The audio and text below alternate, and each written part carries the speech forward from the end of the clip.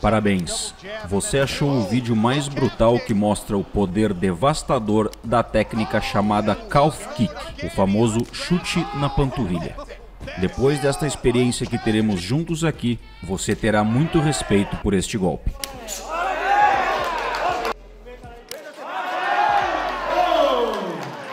Olá, eu sou o Caio, você está na CFX Esportes, o seu canal de lutas. Muito bem-vindos para mais um vídeo. Vou fazer duas promessas aqui. Primeiro, é inacreditável a maneira com a qual evoluiu essa técnica do calf kick, aonde eu sei para muitos ela, ela se tornou popular dentro do UFC com alguns lutadores em específico, como por exemplo o Justin Gate, entre outros caras aí que vem popularizando isso, mas eu queria mostrar que existem outros atletas de diferentes modalidades, como por exemplo Muay Thai, Kickboxing, que trazem isso de uma maneira devastadora. Então a gente vai ver eu acho que o maior compilado desse, dessa técnica dentro do YouTube. Então eu peço muito que você deixe seu like, inscreva-se no canal e eu queria perguntar para você, será que existe uma plataforma que seja o YouTube das lutas? Dá uma olhada nisso daqui, ó. Você já imaginou se existisse o YouTube das lutas? É uma porrada você saber que isso existe, eu sei. Notícias, eventos exclusivos ao vivo, possibilidade de você ser lutador, espectador, ter conta premium para assistir os pay-per-views ou até mesmo navegar de graça. O link gratuito da CFX vai estar na descrição aqui e eu que não sou bobo já me cadastrei, te espero lá, campeão. Link na descrição, te cadastra, não perde teu tempo e bora pro vídeo. Play! Bom, vamos lá, pessoal fazendo o entendimento da maneira com a qual o atleta ele recebe o chute e como que o adversário joga o chute. Vocês podem ver que, por exemplo, esse, esse lutador aí de, de trocação, ele não mexe tanto o quadril, então ele não telegrafa tanto assim. Ele joga angulando, pegando o osso mesmo da canela na parte de fora. Jeremy Stephens contra o Melendez era um chute mais pesado. Se, por exemplo, ele desce lá, o, o Melendez desce o joelho, ficaria é, difícil de, de não se machucar. Mas aí, claro, quando pega, pega muito mais forte. Outra, outro sistema do calf kick, o chute na panturrilha, é ir quebrando, né, ir jogando machadadas ali até a árvore cair. O que, que significa? É uma somatória de golpes que talvez no primeiro, no segundo, o atleta ele não sinta, mas ele não consegue segurar 10, 15 chutes desses, por mais que não sejam tão fortes. Isso acontece quando o atleta ele joga esse chute, só que não pega 100% com o osso da canela, por isso precisa jogar mais vezes, mais vezes, mesmo pegando às vezes com o peito do pé. Ele, o atleta vai acabar, o adversário vai acabar sentindo esse golpe, só que não tão rápido assim, certo? O Alex Poitin, ele tem... Ele bate com o osso do tornozelo. Nós já fizemos esse vídeo aqui no, no canal. E é muito curioso porque ele consegue realmente utilizar o osso, a parte interna do osso do tornozelo dele, para conectar na musculatura da panturrilha do adversário. Então é uma zona menor de impacto, só que, cara, aquilo ali penetra de uma maneira violenta na musculatura. Por isso que o calf kick do Alex Poitin é letal. Mas basicamente você tem que colocar a parte óssea, né? seria muito mais fácil porque é muito é, é mais pesada e mais contundente, na musculatura da panturrilha, na parte externa do adversário. Na parte interna isso não vai dar certo. Vai ser é, quase que uma chance parecida de, de se machucar ou tentar machucar o, o, oponente. Já na parte externa, quando o adversário ele não defende e não movimenta o joelho para a parte de fora, para que haja a conexão de canela com canela, aí vai ter uma dor mútua entre ambos os lutadores. Mas quando o atleta ele não tem o tempo de, de reação de virar o joelho para fora, é assim que se defende o calf kick, tanto quanto o low kick também, né? Mas principalmente o calf kick, tu tem que girar a tempo o joelho para fora, tem que apontar o pé para fora para poder defender esse, esse chute. Ó, isso que o McGregor tá fazendo, de só tensionar a perna e colocar peso na, na perna da frente, seria para um low kick. para tentar absorver, não é defender, é absorver o low kick, mas o, o Dustin Poirier não estava jogando low kicks, e sim calf kicks, que seria o chute abaixo da estrutura do joelho, pegando já a musculatura da panturrilha. Tem gente que joga no meio da panturrilha, tem gente que joga um pouco acima do meio da panturrilha e tem gente que joga lá embaixo da panturrilha. Mas sempre, perdão, abaixo da estrutura óssea do joelho. É isso que difere, que diferencia o calf kick, que é chute na panturrilha, do low kick, que é chute baixo. Mas o chute baixo, ele é acima do joelho. Entre o quadril e o joelho, né? toda a estrutura da coxa ali, sempre com os músculos que, que conectam o joelho com, com a coxa ali, naquela divisória. É ali que tem que ser jogado o low kick, chute baixo. O calf, como vocês estão vendo, ó, ele é jogado no meio da panturrilha pela parte de fora. De dentro não funciona da mesma maneira.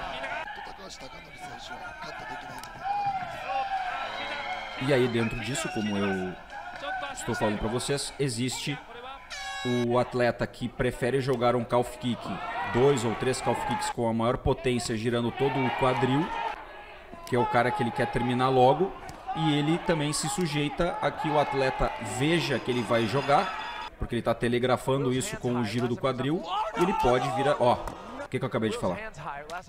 Ó, ele girou um pouquinho para fora. Isso foi coincidência. Eu não esperava que fosse, que fosse acontecer, infelizmente, isso no vídeo. Mas foi uma coincidência para nós, é, boa para compreender. Ele foi girar o quadril todo, o atleta conseguiu é, visualizar isso, antecipar isso, girou o joelho para a parte de fora e acabou gerando uma lesão aí brutal no seu adversário. Isso quando o atleta ele carrega o quadril, ele pode telegrafar. Alex Poitin não carrega quadril, ele vai numa somatória de calf kicks até fazer com que o adversário é, comece a, a, a não conseguir pisar com aquela perna. Então, basicamente, ó, esse atleta já é mais estilo Poitin. Não carrega o quadril, é mais difícil de telegrafar. E ele, ó, esse aí é outro também, mesmo sistema. Ó, é toquezinho, tá vendo? Ó, ele vai minando, vai minando, vai minando até o ponto que o atleta não consegue mais. Ó, viu a diferença? É questão de escolha, é questão de estratégia também. Talvez a luta vai ser de 5 rounds. O cara vai lá e começa a minar. Talvez a luta é de 3 rounds. Vai ter que acelerar um pouco o processo se quiser é, nocautear ou desabilitar aquela perna ali do adversário.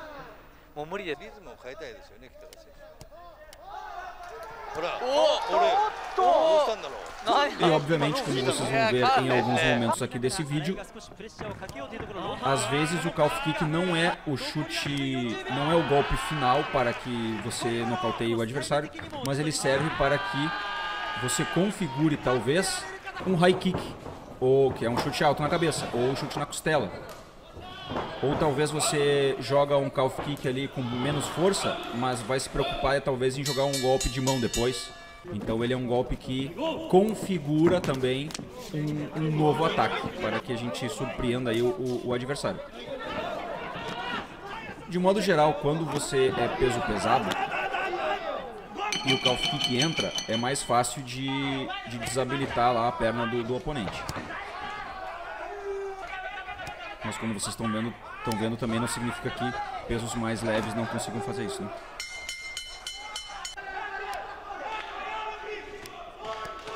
Ó, esse calf kick agora que a gente viu do, do peso pesado foi muito bem executado. Muito, muito bem. Ó, estilo Poitin. Nossa senhora, total.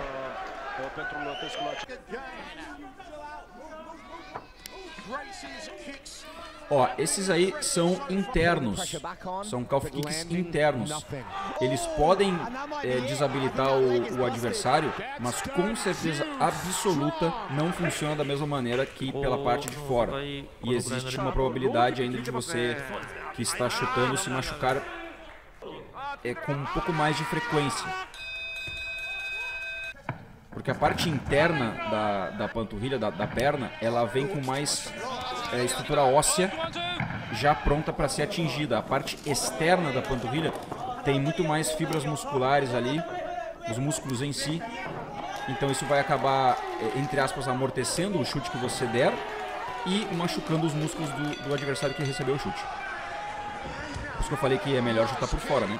Mas não que por dentro não seja é, possível também gerar lesão no adversário.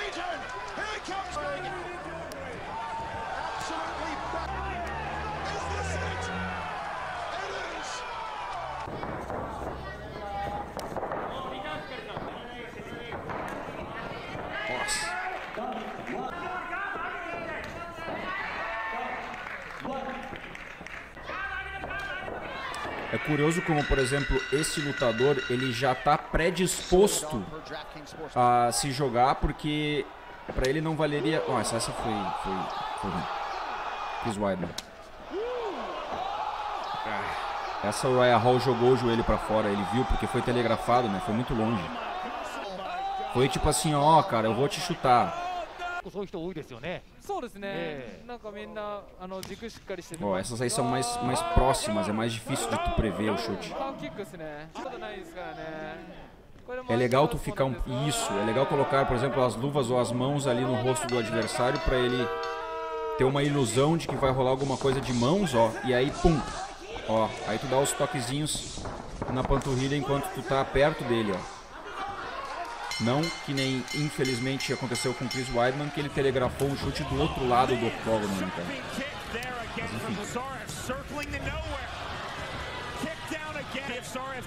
Mas enfim. Varner,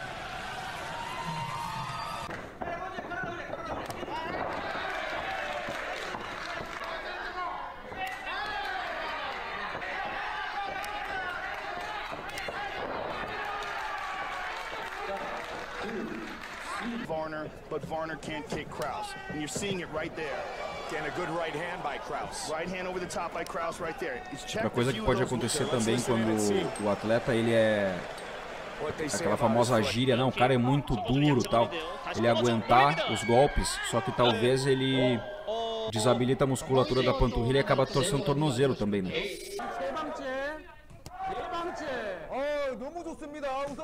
acaba gerando uma lesão talvez até mais grave.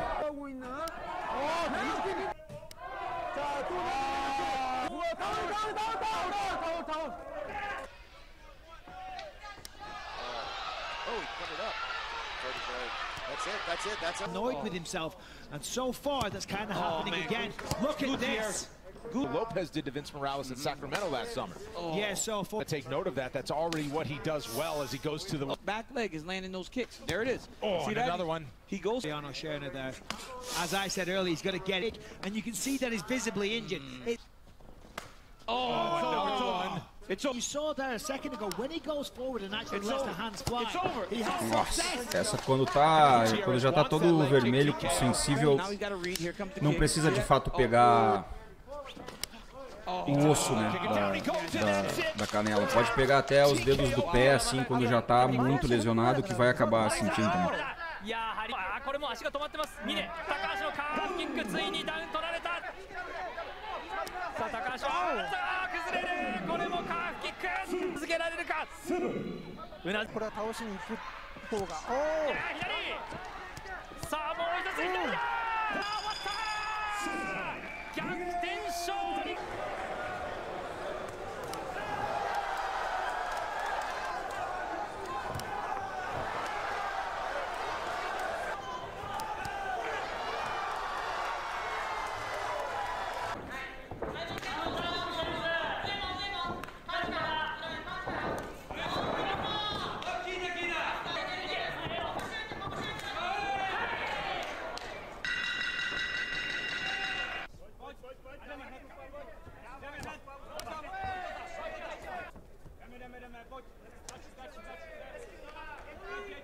jsme se trefil a zradil mu dál najevo, že ho volí Talová roha a bude počítání. 至近距離での身はああどうだこの段階でもう倒れたちょっと体ぐにゃりとね Tem um outro detalhe também em absorver o chute na, na panturrilha que nós fizemos um vídeo aqui no canal sobre é que se tu pisa e tu coloca o, o- todo o peso do corpo na frente, assim como quando tu vai absorver um low kick na, na coxa, não pode deixar a coxa sem peso, né? Não pode deixar ela. Tem, tem que tensionar os músculos para absorver o, o, o low kick. Veja bem, eu disse absorver e não defender, porque defender tem que levantar o joelho, né? Tem que, eh, entregar o joelho de encontro. Mas caso não tensiona a coxa para absorver, deixar a musculatura mais tensa, o que acontece quando o cara vai jogar um calf kick em vez de jogar um low kick? É, se tu tensionar, tu pode colocar todo, toda a vibração, se é que dá para se dizer assim, de um chute pesado na, na panturrilha para os ligamentos. Então isso também pode acabar desestabilizando aí e gerando uma, uma, uma microlesão, algumas fraturas em outra, em outra zona, outra área, né? É muito perigoso o calf kick por várias razões, na realidade. Para mim ele é mais perigoso do que o low kick. His ankle just rolled.